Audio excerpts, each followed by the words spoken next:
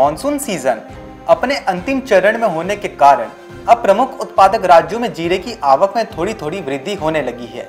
खपतकर्ता राज्यों की लिवाली से बिक्री भी बढ़ी हुई आवक के रूप अनुरूप हो रही है। इसे देखते हुए आगामी दिनों में जीरे में मजबूती बनी रहने का अनुमान है। उत्तर भारत में अब मानसून लगभग वापस हो रहा है। उधर हाल ही में हुई वर्षा के बाद अब गुजरात में अब मानसूनी वर्षा लगभग सामान्य हो गई है।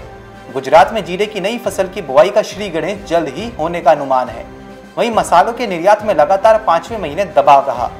सितंबर महीने में धनिया, जीरा और हल्दी तीनों के ही निर्यात में करीब 30-30 फ़ीसदी की गिरावट रही है।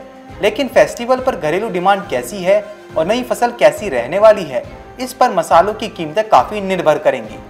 नए सीज़न में राज्य में गुजरात में जीरे की बुआई में कमी आ सकती है। बहरहाल ऊंजा मंडी में इस प्रमुख किराना जींस की आवक बढ़कर करीब आठ से दस हज़ार बोरियों की हो रही है। राजस्थान के प्रमुख उत्पादक क्षेत्रों में भी हाल ही में अच्छी वर्षा होने की रिपोर्ट्स आई हैं। वर्षा का सीज़न अपनी समाप्ति के चरण में होने के कारण गुजरात के किसानों ने अपनी जीरा फ़सल की बिक्री भी थोड़ी थोड़ी बढ़ानी शुरू कर दी है। बहरहाल ऊंझा में पिछले कुछ दिनों से जीरे का उठाव में सुधार का रुख बना हुआ है। दूसरी ओर, कंटेनरों के अभाव होने के कारण देश में जीरे के थोक व्यापार की सबसे बड़ी ऊंझा में निर्यात मांग का अभाव महसूस किया जा रहा है। इससे भी बड़ी चिंता की बात यह है कि समुद्री भाड़ा भी बीते कुछ समय के दौरान बढ़ता हुआ फ़िलहाल करीब पाँच गुना तक ऊँचा हो गया है। भाड़े की दर आसमान पर होने के कारण भी अन्य प्रमुख जिनसों के साथ साथ जीरे के निर्यात का अभाव बना हुआ है। बहरहाल, ऊंझा में जीरे की करीब आठ से दस हज़ार बोरियों की आवक होने की जानकारी मिली है आवक तुलनात्मक रूप से ऊँची होने के बाद भी ऊंझा में जीरे की कीमत दस हज़ार रुपए प्रति 20 किलोग्राम बढ़कर, फ़िलहाल 2650 से 2670 रुपए प्रति 20 किलोग्राम के स्तर पर बनी हुई है। हाल ही में इसमें 100 से डेढ़ सौ रुपए की गिरावट आई थी। भारत के अलावा विश्व में तुर्की और सीरिया को जीरे के अन्य उत्पादक देशों के रूप में जाना जाता है। लेकिन अब अफ़गानिस्तान तथा ईरान भी चुनौती पेश करने लगे हैं।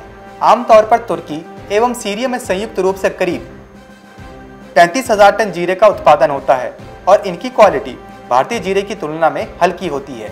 इधर अनलॉक की प्रक्रिया चालू होने के बाद भी स्थानीय थोक किराना बाज़ार में स्टॉक स्टॉक की लेवाली मजबूती ही बनी होने से जीरा सामान्य 200 तेज होकर फ़िलहाल 15,000 से 15,200 रुपए प्रति क्विंटल के स्तर पर बना हुआ है। हाल ही में इसमें सौ रुपए की मंदी आई है। वहीं मसाला बोर्ड द्वारा हाल ही में जारी किए गए आंकड़ों के अनुसार वित्त वर्ष 2020-21 में देश से चार हज़ार दो सौ तिरपन दशमलव एक शून्य करोड़ रुपए मूल्य के दो दशमलव नौ नौ लाख टन जीरे का निर्यात हुआ है।